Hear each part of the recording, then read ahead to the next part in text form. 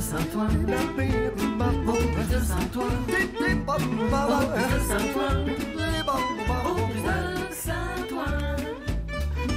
Allez, 8h42, merci euh, d'être à bord avec nous. Clément et, Sylvie nous accompagnent dans les 10 minutes qui suivent pour ces euh, 10 prochaines minutes. Sylvie qui nous emmène au puce de Saint-Ouen. C'est juste de l'autre côté du périphérique parisien, côté euh, ouest-nord-ouest. C'est vrai que ça vous démangeait, hein? Ce qui me démangeait, c'était une balade avec le décorateur Vincent Daré. Pourquoi? D'abord parce qu'il était l'ambassadeur de la fête des puces. Vous savez, au mois de septembre, il y a toujours une grande fête, Mm. les puces de Saint-Ouen, avec tous les marchés différents, fête un petit peu la rentrée. Et donc Vincent avait été choisi comme ambassadeur. Je trouve que c'était très C'est un justifié. décorateur, on est d'accord. C'est un décorateur, c'est un des grands décorateurs français.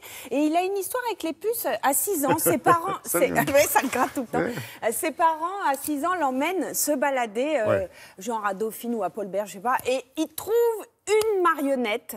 Et comme Vincent veut être marionnettiste, eh bien, ses parents lui achètent, c'est une petite marionnette en bois, ils n'ont pas beaucoup de sous, enfin bon, voilà. Et là, tout commence ici. Il est, p- il est pas ma- marionnettiste, il est décorateur. Il passe entre-temps par la mode. C'est quand même l'assistant de Karl Lagerfeld pendant de nombreuses années. Et là aussi, il chine.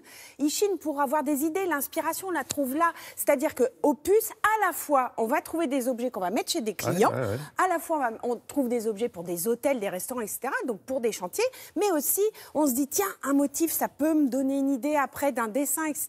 Et c'est comme ça que travaille Vincent. Il y va tous les week-ends. Alors comment vous dire, c'est une resta, quoi. Une star. Là-bas, sur Ouais. place Ah ouais. Euh, Un mec Vraiment. qui chine et qui, qui a commencé par se chercher, en général, ouais.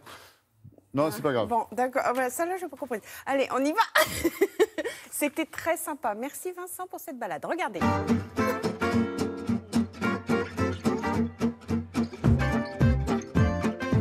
Ce qui m'inspire ici, c'est l'humour et la fantaisie de Arthur Bruet, qui est en fait euh, un antiquaire qui a le goût du spectacle et du théâtral, un peu comme moi. Donc ici, je sais que je vais trouver des grosses pièces comme cette espèce de décoration, on sait même pas d'où ça vient, cette grosse chaussure surréaliste. C'est vraiment un goût assez particulier qu'ont pas tous les antiquaires des puces, mais lui, c'est c'est ça son goût. C'est la manière de placer les objets ensemble et de rendre son stand comme un petit théâtre.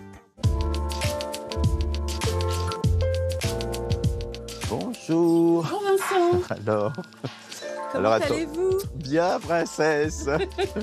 Chez Neila, on trouve plus des tissus extraordinaires qu'on va mettre en petites touches parce que ça donne une richesse et une histoire aussi parce que qu'en fait les décorateurs on raconte des histoires. L'histoire du tissu est ici, parce que quand on se tourne, on voit des broderies euh, du 19e, cette chose extraordinaire, je crois qu'il doit être 18e, ça, non? C'est une chape Une chape. italienne, faite avec une technique particulière. Oui, c'est incroyable. le point de majolique. Le point de Majolique et non pas Majoli. C'est super beau. Vous allez bien? Très bien, et vous? Ah, j'adore cette collection de verres. Salut, Salut. Bonjour Maggie. Bonjour Vincent, Hmm. Alors, qu'est-ce que tu as de nouveau? Ah, le petit coq, il est trop drôle. Mignon, coq hein, c'est une céramique. Sympa, hein Elle s'éclaire. Je m'arrête là parce qu'il y a des gens qui portent bonheur. Et Maggie, elle porte bonheur. Chaque fois que j'ai pris des objets chez elle, c'était un succès. Il y a deux optiques ici. C'est où on va?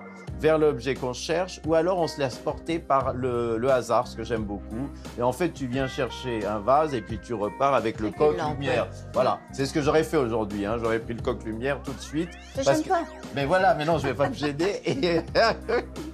tu me fais crédit C'est un musée à ciel ouvert et je milite pour que ça soit au patrimoine mondial de l'UNESCO parce que euh, c'est la mémoire de Paris. Et on parle beaucoup de classer tellement de choses qu'ici, évidemment, c'est impalpable parce que c'est des petites baraques, c'est des petits trucs, c'est de la brocante, mais elle est aussi importante qu'un monument historique.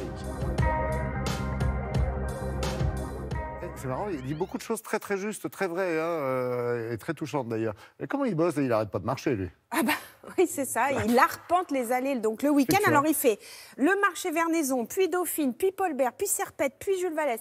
Voilà, il a toute une méthode. Et d'ailleurs, il a pris des objets dans chacun de ces marchés qu'il a exposés euh, à l'Office du tourisme de Saint-Ouen, euh, rue, euh, rue des Rosiers. Et en fait, vous pouvez voir tout son, son choix comme ça jusqu'à jusqu'à ce week-end, le week-end prochain. D'accord. Euh, bah, c'est une bonne idée parce que du coup, on se dit, tiens, ça, ça peut emmener vers d'autres marchands, etc. Ça peut ouvrir les chakras vers d'autres pièces, euh, poss- possiblement. Ok, super. Ça Ouais. ouvre les chakras, ça marche. Vous savez que j'adore ouvrir les chakras. Merci Sylvie, c'est bon. On les a ouverts. Ah, C'était sympa, non Puis une très belle balade.